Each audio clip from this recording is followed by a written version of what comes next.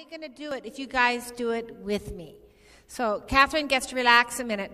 First, to hold your reins, take your thumb and put it on top of your forefinger with a slight bend in the thumb. Come on, I want to see you guys do this. Thumb on top of your forefinger, no pens in your hand, a slight bend in the thumb. And you keep, a, that's where you hold the rein. But it's very important to keep a slight bend in the thumb. If you make the thumb flat, feel that stiffen you? Make your thumb flat. Feel how stiff that makes your hand?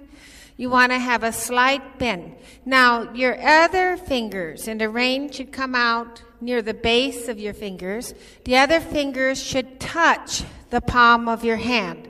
Touch. Don't grip. If you grip, you'll feel how stiff that makes your hands. Don't grip, just touch.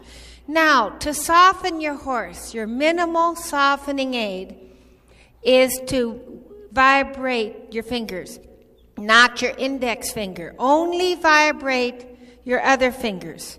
And by the way, we usually don't use the pinky because it just can't hold anything. If you pull on your pinky, take your other hand and pull on your pinky, and it can hold nothing.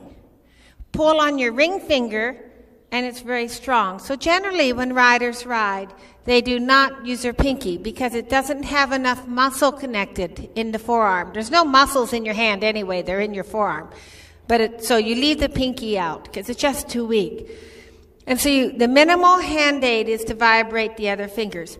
Then, if you need a little more softening hand, you vibrate your wrists. Not talking this. We're talking vibrate. Now try that. Vibrate your wrist and vi- now see how good you can get. Vibrate your wrist and vibrate your fingers. Okay? Then at the walk and the canter, you also need to follow the horse's head.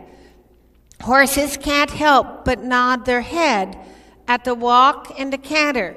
So at the walk and the canter, follow the horse's head. Come on, let's see you guys do that. I want to see these hands following. Now vibrate your fingers, vibrate your wrists, and keep following. And if you have to follow your horse's head at the trot, it's lame, so take it back to the barn.